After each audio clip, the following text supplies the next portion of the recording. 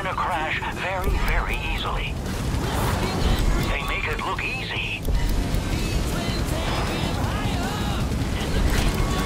It's a blind jump coming off of the first leg of the course. They've stuck the landing. Talk about a leap of faith. There's no way they can see how this ends.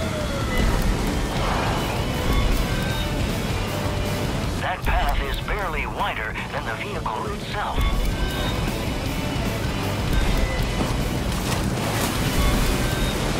Their steering must be precise here.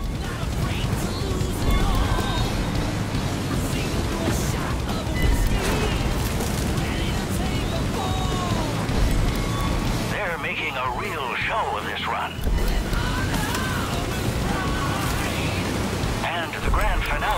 Another blind jump. Can they do it? What a feat.